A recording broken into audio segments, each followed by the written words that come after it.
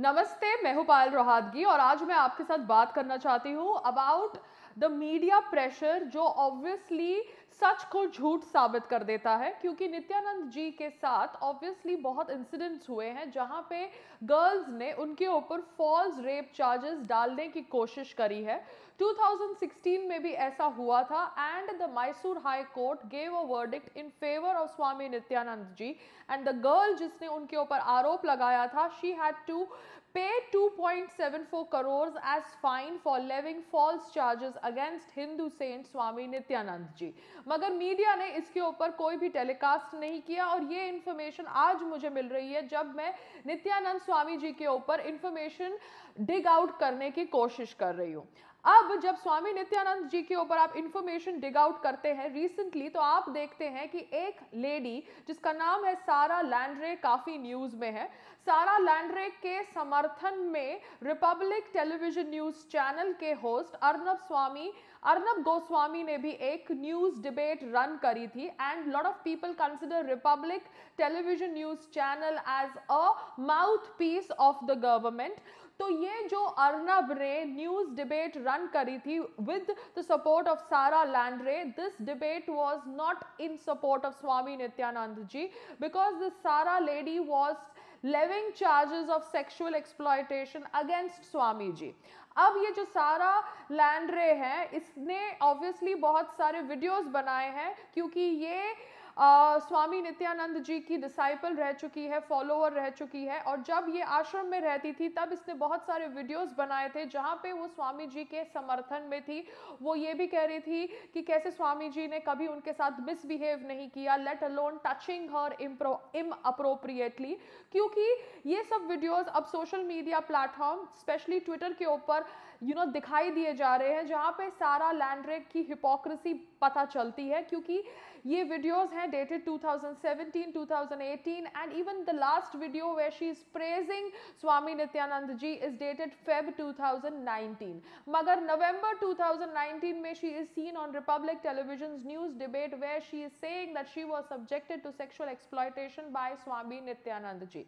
अब इसके और भी वीडियो आए हैं जहाँ पे दिखाई दिया जाता है that she has started her own movement and that movement is called as Christ consciousness and that is obviously missionary in disguise and Meena Das Narayan who is a known journalist has called her a Vatican mole तो ये सब देखने के बाद obviously as a भारतीय नागरिक मुझे लगता है कि देर इज़ अ साजिश and against Swami Nityanand ji and this साजिश has been fuelled by the Indian media and उसकी लेटेस्ट मोल है this Sara Landry lady.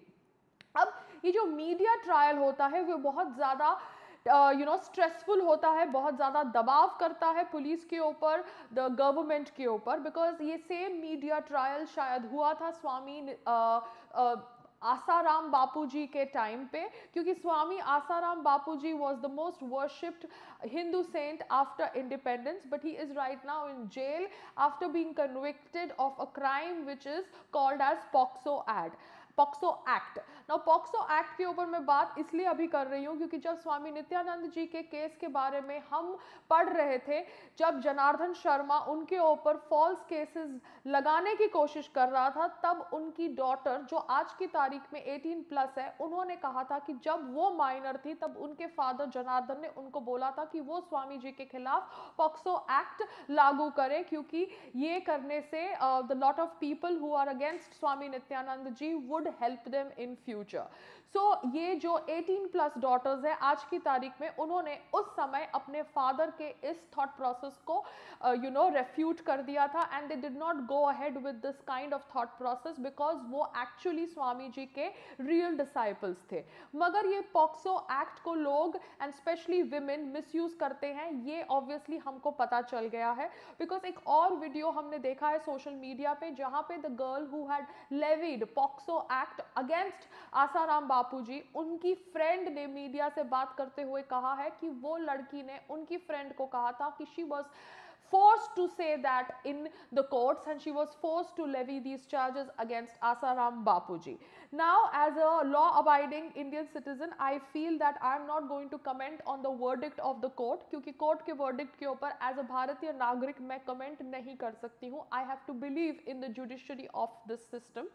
I have to believe in the judiciary of the Indian courts मगर मैं as a social media person खाली इतने facts के ऊपर बात कर सकती हूँ कि बहुत सारे समर्थक of Asaram Bapu ji are sharing news about the medical investigation that happened on the girl and also the facts that were shared by the media were completely wrong in Asaram Bapu ji's case the medical report on the girl that has been revealed on social media by third party source say that there was no physical assault, there was no loss of consciousness, no bite marks, no aberration, no sweating, no penetration. Hymen was intact on the girl who levied the POXO Act on Asaram Bapuji. And this report was prepared by Lok Nayak Hospital in New Delhi. इसके अलावा obviously Indian media ने उस time पे तीन main pointers द्वारा negative propaganda किया था against Asaram Bapuji First pointer was that the girl had lodged FIR against Bapuji alleging rape and medical examination confirmed the allegation. ये मीडिया का पहला झूठ था जबकि सच ये था कि the Jodhpur DCP Ajay Lamba told the press conference on 26th August 2013 at 1 pm that FIR makes no mention of rape. The medical report received from Delhi too does not confirm rape. Even then, Delhi police registered offence under section 376 of IPC which is non-bailable. The question is why? दूसरा झूठ जो media ने कहा था कि बापूजी consumes opium मगर इसके ऊपर नीता वैद्या, जो आयुर्वेदिक फिजिशियन थी, उन्होंने कहा कि ऐसा कुछ नहीं करते थे बापूजी। तीसरा झूठ जो मीडिया ने प्रमोट किया that the police recovered many obscene video clippings of Asaram Bapu from his add शिवा इसका सच ये है कि शिवा ने खुद कहा है that the police use third degree methods with me my चोटी that is the lock of hair on my head जो यूजुअली ब्राह्मण्स रखते हैं was uprooted and I was brutally beaten and I was told to sign on a piece of paper and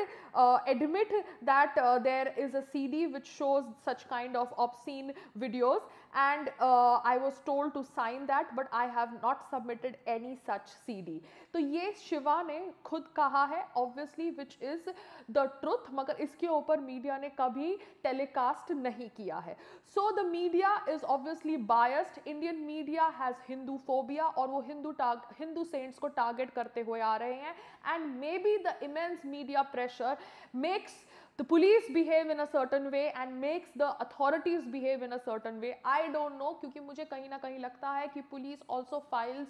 false sections against you even though those sections are not applicable to you under pressure मेरे साथ personally भी ऐसा कुछ हो रहा है but I will not talk about it right now because right now is not the time to talk about it but I believe that the Jodhpur police has not you know said anything about this and uh, Um, Asaram Bapuji is convicted under POSCO Act and is obviously in prison. But today in the times of social media जब हम obviously information को double verify कर सकते हैं, पिछली information को फिर से चेक कर सकते हैं, देख सकते हैं, अपनी राय उस हिसाब से बना सकते हैं I feel that injustice may have been done to Asaram Bapuji who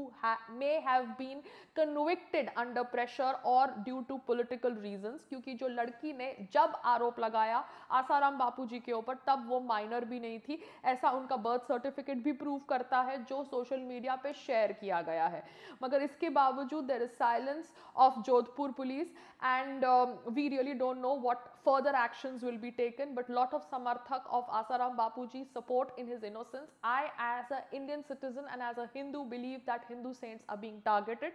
The recent example was Swami Nityanand ji but because we are in the times of social media जहाँ पे the minor children के videos भी हम देख सकते हैं and the 18 plus girls के भी हम videos देख सकते सकते हैं ये ऑब्वियसली बहुत जल्दी एक्सपोज हो गया द साजिश अगेंस्ट स्वामी नित्यानंद जी मगर आसाराम बापू जी की सच्चाई क्या that I hope time is able to reveal to all of us because